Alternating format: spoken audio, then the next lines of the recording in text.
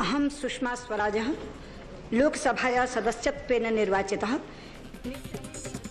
315 new MPs are being sworn in. Sushma and Uma Bharti swear in Sanskrit.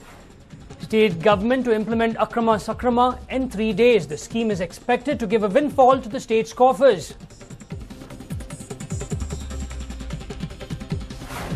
ADGP meets with DGP Pachau. Ravindranath says he has been transferred to Dharwad and he doesn't want to move out of Bengaluru.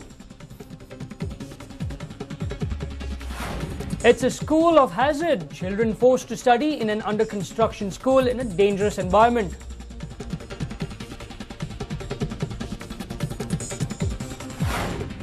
It was just dropped at our office. We have become quite inquisitive about it and we will tell you about this wonderful animal.